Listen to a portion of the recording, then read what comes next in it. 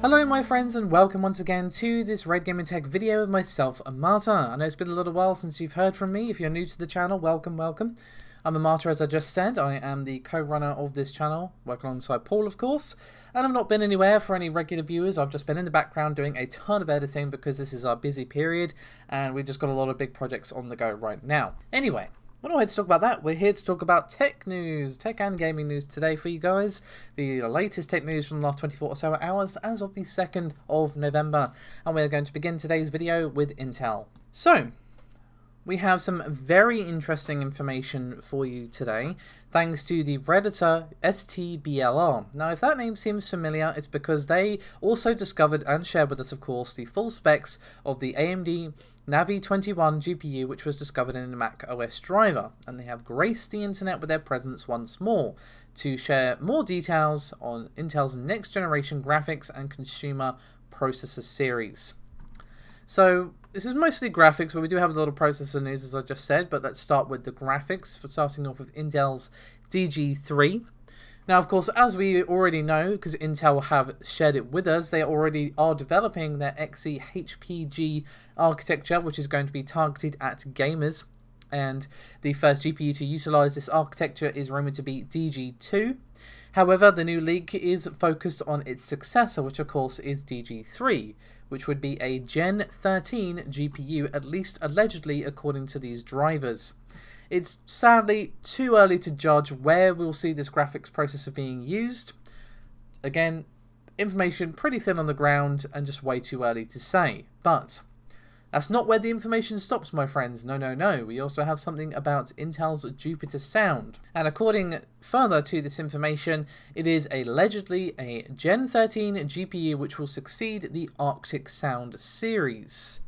Of course, once again, Intel have already shown us what's going on with XeHP based GPUs, and we do know that they are up to a 4 tile configuration with up to 2048 execution units. But here come to that sprinkle of flavour, just that dash of processor news to uh, to mix in here, and it is Intel's Lunar Lake and it is a code name, of course, for their next generation processors. Now, before I get into any further information, I do just want to say that credit to Moore's Law is dead. He is the first person to originally leak that code name, Lunar Lake, so of course, credit to him.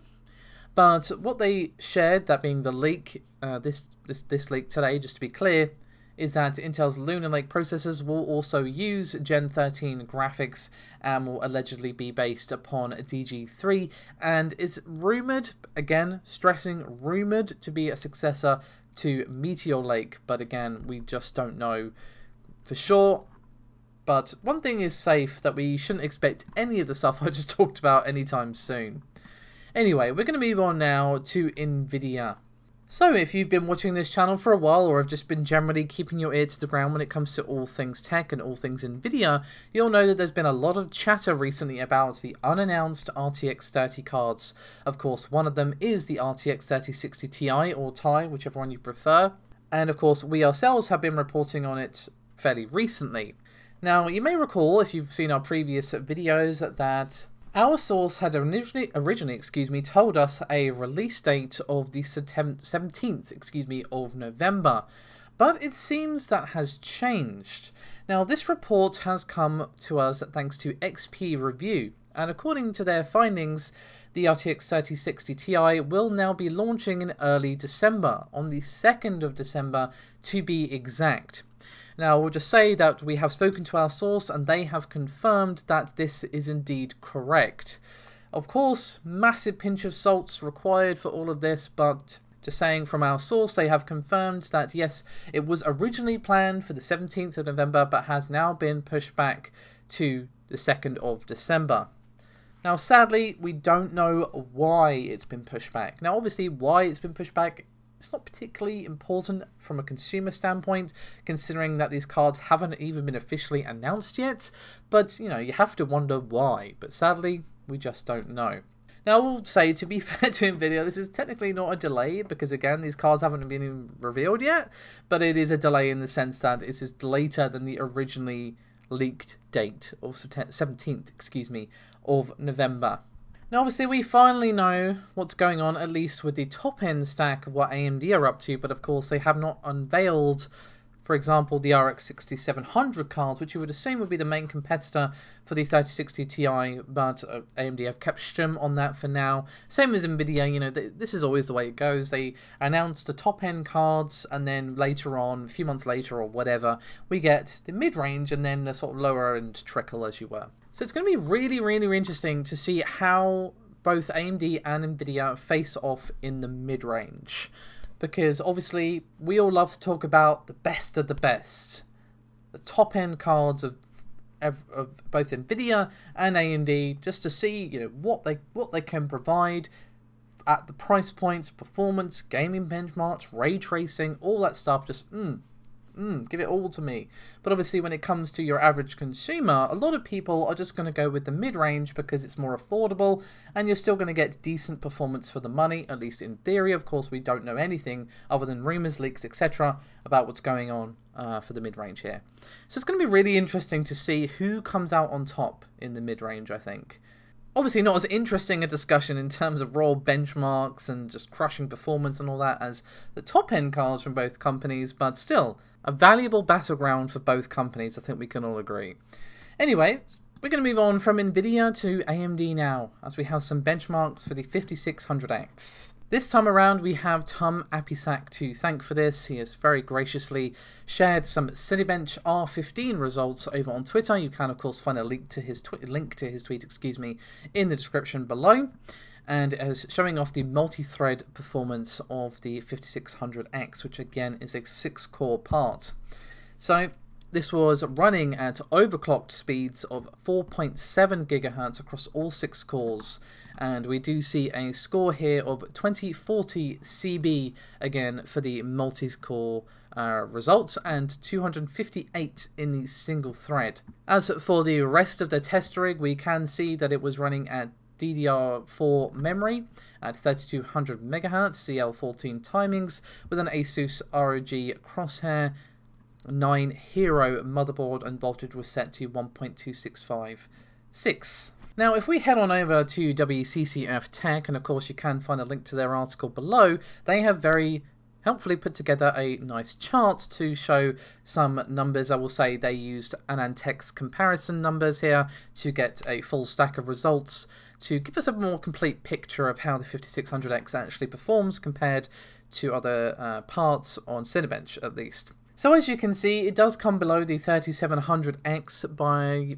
a few points. It's hard to tell on this chart, to be honest, exactly how many. It's not a huge uh, difference, I'm sure you could agree, but it does come above the 10700K, again by just a hair, but is significantly in front of the 3600 XT and the 10600K from Intel. So based upon these numbers, the 5600X is 42% faster in multi-threading and 25% faster in single-core performance than the 10600K which has a faster clock speed and a higher TDP, just for some clarity there. So, pretty interesting. I will say I was pretty impressed by the showing that um, Zen 3 put in when AMD revealed it a few weeks ago. I was, again, pretty impressed by what they showed off. So, it's going to be interesting to see how well it does when we can finally get our hands on it, do some tests, etc. Hopefully, fingers crossed, we can get our hands on a sample. Anyway, we're going to round off today's video with some PS5 news, first of which is some news from the DualSense. So obviously we already know, have, so, have done for some time now, that the DualSense controller for the PS5 will not work with the PS4. But something interesting has been discovered. Obviously, American uh, consumers do get the PS5 a bit earlier than those of us in the UK and the EU, but the PS5 accessories, including the controller, are available to purchase, and some Americans have actually managed to purchase one and do some testing. So this is all thanks to the YouTuber Midnight Man. You can of course find his video linked below. So the DualSense is not recognized by the PS4 console. Okay? And what you might say.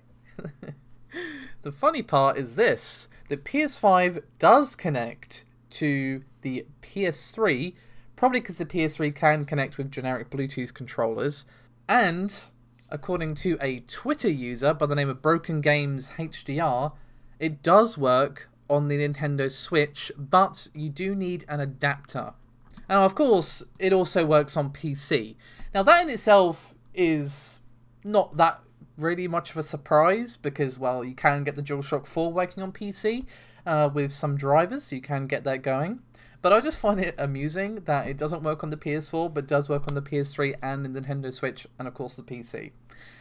Not really a big thing, just made me smile and thought you guys might enjoy this as well.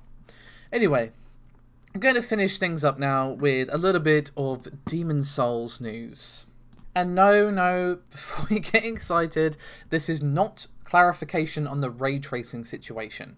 As far as I'm aware, there hasn't been one yet. This is a little something about the soundtrack. I just thought you guys might enjoy this because I'm really excited for Demon Souls. I'm going to be very sad when I can't play it at launch because, well, I'm not going to get a PS5 for launch because I didn't get in the pre-order fast enough. But Sony has given us a few details on how the music, music, excuse me, for the remake is actually going to work. They have actually said that the soundtrack will release digitally in, on November the 26th, and CD and vinyl sales are expected in December. The fact that there's vinyl makes me very happy. Now, they have given a little sample of the music of Demon Souls. You can, of course, find the video linked below. Go give it a listen. Now, just to give credit, the music, the original score was created by composer Shinsuke Kida and has been rearranged by Bill Hemstapat. Now, Sony did say in a press statement, thanks to Gaming Audio News for sharing this, and of course we'll include a link below, they said, quote, Go behind the scenes with the music of Demon Souls, a haunting, epic listening experience of reimagined and re-recorded, awe-inspiring music performed by a 75-piece orchestra, 40-person choir, and multiple vocal and instrumental soloists. Music is used sparingly, and fear builds within you from its absence. A sense of loneliness and desperation creeps in. That's a quote from the creative director at SIE, Worldwide Studios, Gavin Moore, and he says, quote, But the void left by the music is filled with sound which surrounds you and envelops you. So, something cool, something interesting, and of course Shinsuke Kida is the guy who did the original music for the Demon Soul soundtrack, but it has been rearranged by uh, Bill Hemstapat, as I said. So once again, you can find a link below to give a little teaser of the music that we could expect for Demon Souls Remake. I'm really hyped, as I said already. Just wanted to end the video on a on a good note, on a hyped note, since it's been a little while since I've got to record for you guys. Anyway, that is me done. Thank you so much for watching. Do remember to like and subscribe if you haven't done so already. It does help out a great deal. And, oh, thank you guys so much for all your support lately. It's honestly mind-blowing. Thanks again. Bye-bye.